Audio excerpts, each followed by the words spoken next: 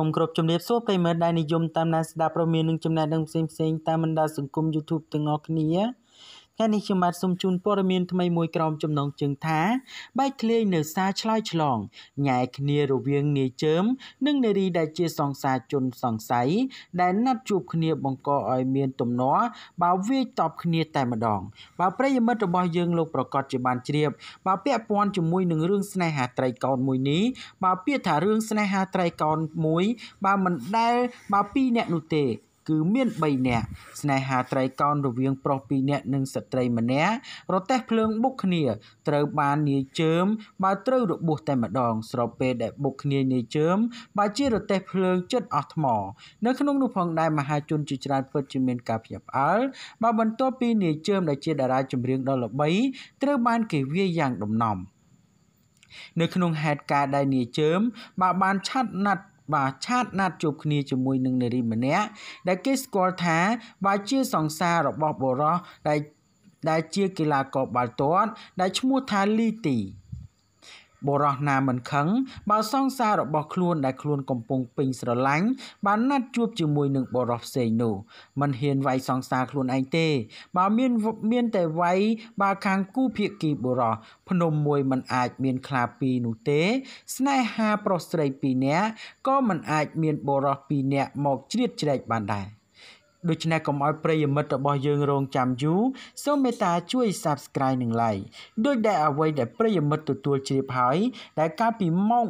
4:20នាទីរសៀលបាទត្រូវនឹងថ្ងៃពុធបាទថ្ងៃទី18ខែធ្នូឆ្នាំ2019ម្សិលមិញនេះមានការបាទមានផ្ទុះព័ត៌មានដ៏កក្រើកនៃជើមដែលជាតារាចម្រៀងដ៏ល្បីនៅក្នុងផលិតកម្ម Sunday ត្រូវបានជន់ដៃដល់ម្នាក់ប្រើប្រាស់អំពើហិង្សាមកវាយតបទៅលើខ្លួនដែលបង្កឲ្យមានរបួសមកចំក្បាលយ៉ាងធ្ងន់ធ្ងរហើយដេកចំនួន5ធ្នេទៀតផង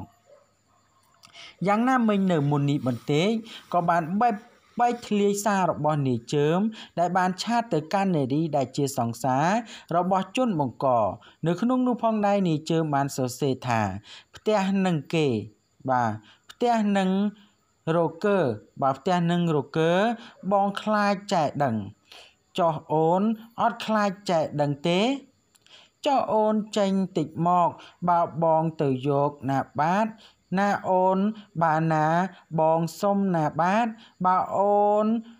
បាទដែលយើងនិយាយថាបាទអូយអូនអើយបើបងនិយាយមែនណា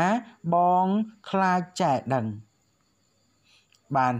គួររំលឹកផងដែរថានេះគឺជាឆាតឆ្លងឆ្លើយរបស់នាយជើមបើជាមួយនឹងនារីដែលជាបើសង្សារជនបង្ក នៅក្នុងនោះផងដែរបើខាងនារីត្រូវបានលុបចោលទាំងអស់បើមានតែនាយជើមតែប៉ុណ្ណោះនៅក្នុងហេតុការណ៍ទំនាស់បើវាយតបស្នេហាត្រីកោណលើកនេះបើដែលជនសង្ស័យបានប្រើកំណាត់ឈើប្រវែង1ម៉ែត្រវាយទៅលើជនរងគ្រោះដែលមានឈ្មោះថាសុករក្សាបើបណ្ដាលឲ្យរងរបួសត្រង់កំពូលដៃបើទាំងសងខាងក្បាលបើដេ5ធ្នេបើព្រមទាំងបើបែកខ្ទេចទូរស័ព្ទមក iPhone X មួយគ្រឿងខូចខាតទាំងស្រុងជនដៃដល់បើរូបនេះមានឈ្មោះង៉ែតលីទីភេទប្រុសអាយុ22ឆ្នាំមុខរបរបុគ្គលិកក្រុមហ៊ុនរស់នៅក្នុងភូមិបាផ្សារ ព្រំជើងឃុំស្ទឹងកាចបាទស្រុកសាលាក្រៅខេត្តបៃលិន នៅក្នុងនោះផងដែរជនសង្ស័យបានប្រើអំពើហិង្សាដ៏ខុសខើវាយដំយ៉ាងធ្ងន់ធ្ងរមកមកកាន់នាយជើមដែលជាតារាចម្រៀងរបស់ផលិតកម្ម Sunday ខណៈចោទប្រកាន់នាយជើមថាបានឆាតឆ្លងឆ្លើយស្នេហា ទៅកាន់សង្សាររបស់ខ្លួន រហូតកើតជាក្តីប្រច័ណ្ឌទើបធ្វើឲ្យជនដៃដល់បើទ្រាំមិនបានក៏ផ្ទុះជាកំហឹងបង្កការវាយតប់ទៅលើជនរងគ្រោះតែម្ដងទៅ។ ទន្ទឹមនឹងគ្នានេះផងដែរក្រោយពីមានការសម្របសម្រួលអំពីសមត្ថកិច្ចបាទជួបចរចាគ្នាអស់រយៈពេលប្រមាណម៉ោងរួចមកនាយជើមបានទាមទារសំណងជំងឺចិត្តចំនួន30000ដុល្លារចំណែកឯភាគីជនបង្ក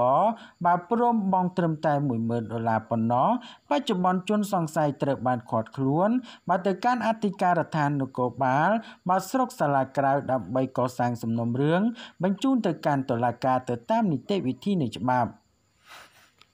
បាទនៅក្នុងនោះផងដែរបាទមហាជនជាច្រើនកំពុងតែមានការភ្ញាក់ផ្អើលបាទចំពោះតារាចម្រៀងនាយជើមបាទដែលមាន បាទសង្សារ1 2 3បាទ4 5ផ្លាស់ប្ដូរជាបន្តបន្ទាប់បាទជាចុងក្រោយនេះក៏បានធ្វើការញ៉ាយសង្សារគេ បាទរហូតដល់ធ្វើឲ្យរទេះភ្លើងបុកគ្នា បាទបានប៉ះគ្នាឬសូបប្រាវតែម្ដង បាទដូច្នេះព័ត៌មាននេះមានប៉ុណ្ណឹងដើម្បីទទួលបាននូវព័ត៌មានថ្មីៗបន្ថែមទៀតសូម Subscribe និង Like ចំណែកខ្ញុំបាទសូមអរគុណនិងសូមគោរពលា